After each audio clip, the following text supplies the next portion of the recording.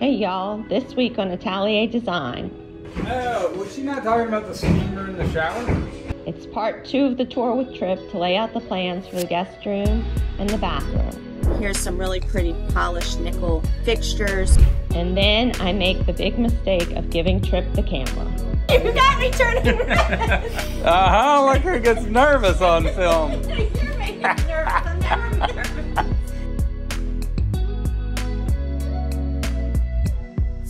Last week, Tripp and I walked through the demolition at the Uptown Residence renovation and discovered a few problems. So that's coming down from the attic into the living room? Yes, the chimney from below. Oh, crap. That's not good. And you saved the tub, right? We were using that tub? Yeah. It's in the yard. Yeah. Not on my plan. Now in part two, we move on to the guest bedroom and the bathroom. And the tub is still in the yard. Tripp was going to take a lunchtime break.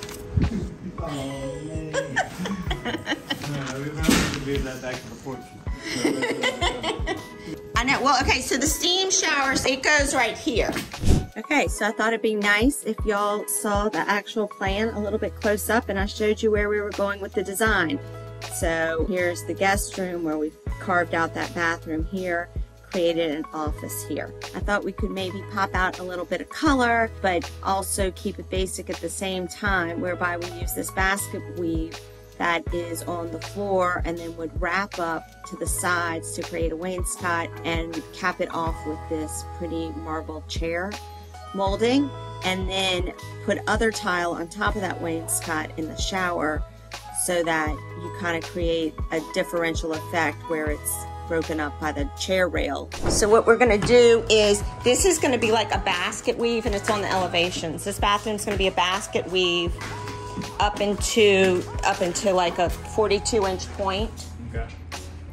And it's gonna go from the floor all the way, you know, it's gonna be like a bathtub basically, all the way up. And then I wanna do a molding, like a chair rail in the tile above it. And then Sheetrock above it. just in the, sh- yeah, and then just in the shower, we're gonna do a different tile On the walls. on the walls going above that. But the, Floor tile is the wainscot and it comes into the shower. into the shower. Okay. But I think rather than the diamond, we're probably gonna go with the subway tile. Then here's some really pretty polished nickel fixtures from Kingston Brass. Kingston Brass is usually a fairly good price point and they're just really beautifully made. So here's the shower valve, here's the rain head, and then we were picking this faucet. I found this vanity that I thought was really pretty and had some nice detailing on it. The client doesn't love the color, so we'll probably change that, but it had these little columns and it sits up from the floor and had good counter space. And then also I found this little image where it's this little wallpaper tape and it has two different pieces to it and I thought that could be fun in the area that we don't bring that tile up above. And then this glass has to go all the way up because it's a steam shower. So it'll have a transom. It'll have a transom above. And then this is, um, here, you want to film me? Film me. Did you Do you feel pressure? Yeah. Okay, so yeah, okay, so I'm gonna go over this. Okay, so we're gonna go tile all the way up, trim molding, base molding. Uh-huh, like her gets nervous on film. You're making me nervous. I'm never nervous. Okay, here, let me zoom in. You got me turning red. I'm, Uh-huh. I'm you my videographer. I, I'm good at this. I prefer to be behind the camera, not in front of All it. right, and then um, and then we've got the radiant floor, and then don't forget I want to put floor blocker. Radiant floor in this bathroom and that bathroom? Yeah, Okay. because she said it's you it's so easy to put those down. I don't think it's very expensive. Yeah. Yeah, right. Uh, So the sauna's going here. oh, was she not talking about the steamer in the shower? We kept all this stuff. Yeah, so the, yeah, the steamer's going to go in this shower. Okay. All right, that's what this pipe is. That's what that equipment is. Okay, and then the toilet moves here, Yep. and then the sink moves here. Yep. And that's the big piece I got to get on the vanities, and then wall here. So are we not, these dimensions were off? Yeah, we have more room than you should, so it's good. Okay. We need to determine if this is a five foot bathroom. Well, we want to make it, I'd give the room to the bathroom. Oh, you will? Then to the office and the. Well, so my main thing is, is I'm trying to center this door on the coffers. Center, center, equal, equal. Heard that. so obnoxious. So I'm trying to go one, two, three.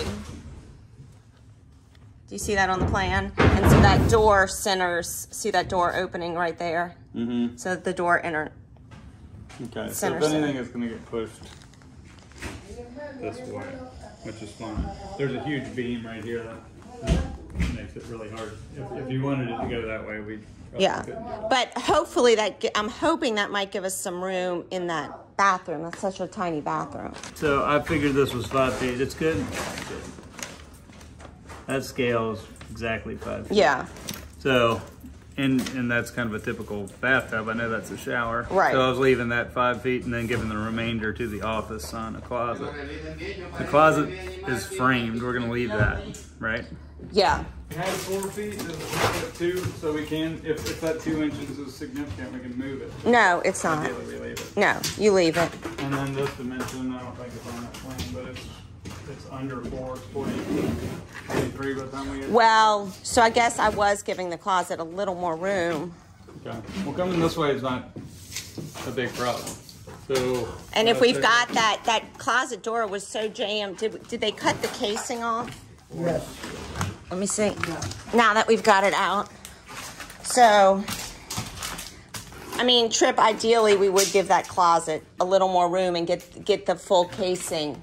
You know what I mean? So we're not so jammed in the, in the corner here. But this wall is fine, this depth. Yeah, seems good to me. The bathroom will get uh, tile. Everywhere else will get wood to match her. You have, this is kind of your three foot ten mark, just from, from that mark to here, where the sauna goes. Yeah, well, and the sauna gets centered on this door. Okay. So what you have to do, Push everything back. so what you have to do is find the center point of this between here, you know, between the line of that coffer to to here. That's going to be your center here. Okay, so that line, not that line? This is what we're calling the end end of the room, not this? Yeah, I mean, because I can't, I'm just asking, I don't know. because we don't want to remove all that AC, right? Yeah. But it, we're tearing all this out anyway to build the new barrel ceiling. So we can do whatever you want. Okay, wait. All right. So, okay, wait. Hold on. Let's think about this. No, I take it back. Why did I do this? Okay, I know what happens. This is four equal coffers. And then that, this inset gets It's aligned. going this way. Right? Yeah. Yeah. So that's how you do it. So it's, this is one, two, three, four equal coffers. And then this wall moves in a little so that that's the three. Then you take the three and center it on the third. Does that make sense? Okay. So it's not centered on the room, it's No. centered on the drop ceiling. You just need 310 there. So do you want your closet to get bigger? We Yeah. have an extra foot. Yeah. I want the closet, but but see that center line? That's that's what's imp- that's what's going to lay this all out. And then in here we want to do that floor blocker. Okay. Have you used that before? She was worried about the sound coming from the Just living for room. acoustic- yeah. up. so it's that uh, thin, like foam. It's really Like an cool. underlayment, yeah. Yeah, it's an underlayment, and I think I actually have two layers of it going in the bedroom. Okay. You know, like in these walls, use that um, that Rockwool Safe and Sound. Okay. And you saw this is coming out, the Hobbit hole. Yeah. This is coming out, This rounded door? Yeah. so we can make it look. I want it to look like the rest of the doors in the hall. You, you want us to align these Yeah. transoms, not, and, and head height, but the Yes. door height's gonna be shorter by. Because you step up. Yeah. For whatever reason, they decided to do that. You think this was like someone framed it up and then they went, uh oh? Somebody messed up. Somebody messed up. We're gonna change out that chandelier eventually, but she wants to sell it. Um, So I'm gonna take it down for maybe. Okay. Can you build like one of those little braces to keep it Okay. yeah, breaking apart? yeah. So if you get this laid out, then I can come back and try to just like double check that everything's where it needs to be. But it's looking good. All right, say bye. yeah, I tricked.